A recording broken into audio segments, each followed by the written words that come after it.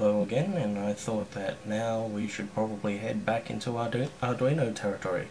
So here is one of my favorite little toys, an Arduino board again. So you probably would have been thinking that it would be nice if we could get the Arduino board to communicate with the outside world and indeed that is possible. So on board there are UARTs for serial and that's fairly easy to implement and uh, there's also um, other libraries out there such as Virtual Wire which will let you uh, use your Arduino to interface to other Arduinos. But what I wanted was something that was fairly simple and could easily interface to a computer um, wirelessly. So I thought of a good old radio amateur standard called Radio Teletype otherwise known as RTTY or RATI so RTTY is just frequency shift keying, so we alter a frequency to indicate 1 or 0, um, but the text is actually sent encoded in Baudot, which is a 5-bit format, rather than ASCII, which is a 7 or 8-bit format. This increases transmission efficiency.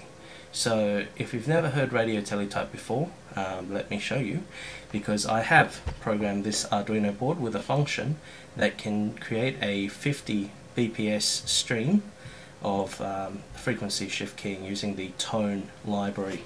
So let me just get my speaker. This was salvaged from an old headset. It has a resistor in line to limit the current so that you can listen to what RTTY sounds like. So let me try this. I've got it running a beacon that sends a beacon every so often.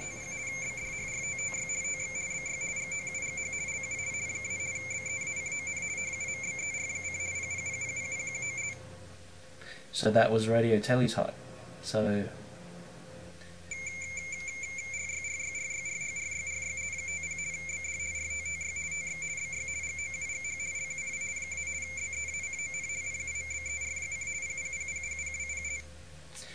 So as you can hear it's a fairly slow form of transmission, only 50 BPS, but this is a, uh, it's almost like an amateur radio standard.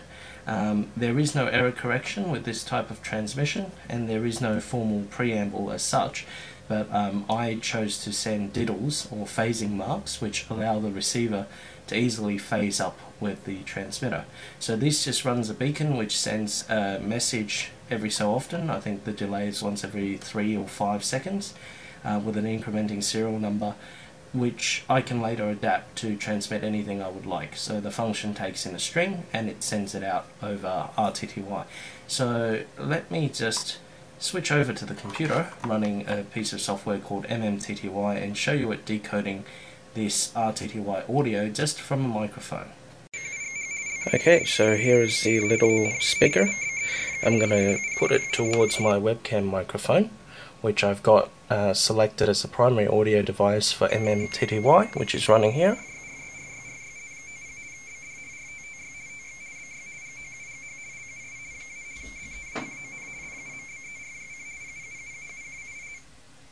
As you can see, it's just decoded a string. Let me beacon one more time.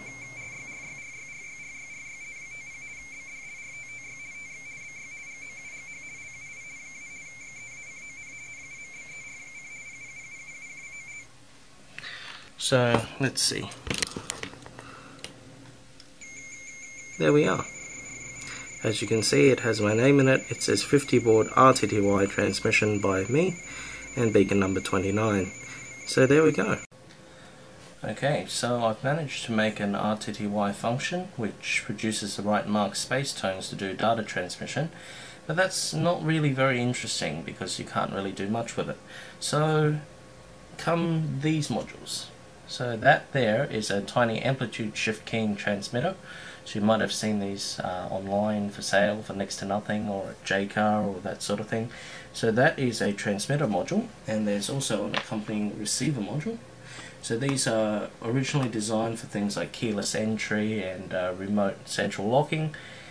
Interesting quirk with the receiver module is that it produces virtually no output current, so the um, the output data signal has to be buffered in order to use it. Sorry about that. So I put the transmitter on a little board which I've made. This board has an antenna on it and a few pins and that just turns it into a shield for the Arduino. So grab the board, carefully place this on it, if you'll give me a second, just to find the right pins, and there we go.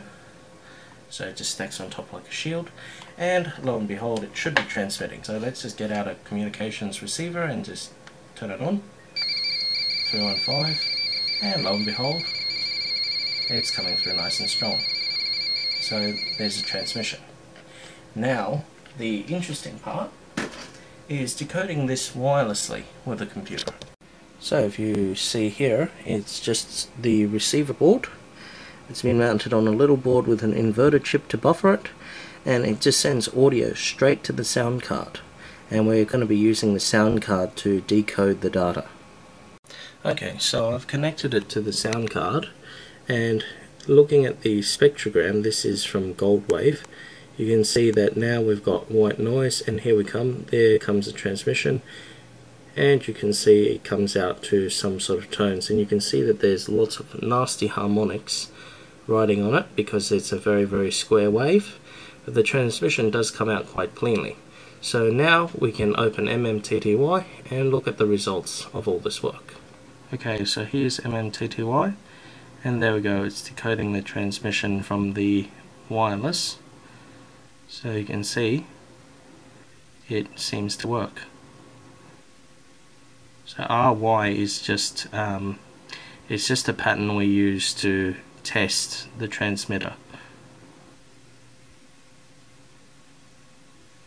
So there we go. If we don't have lots of data to send from the Arduino to the PC, we can use something as simple as frequency shift keying with one of these cheapy transmitters to produce a wireless link um, this is less arduous than say using virtual wire which uh, is not easy to decode and I don't think there's a sound card decoder out there for it.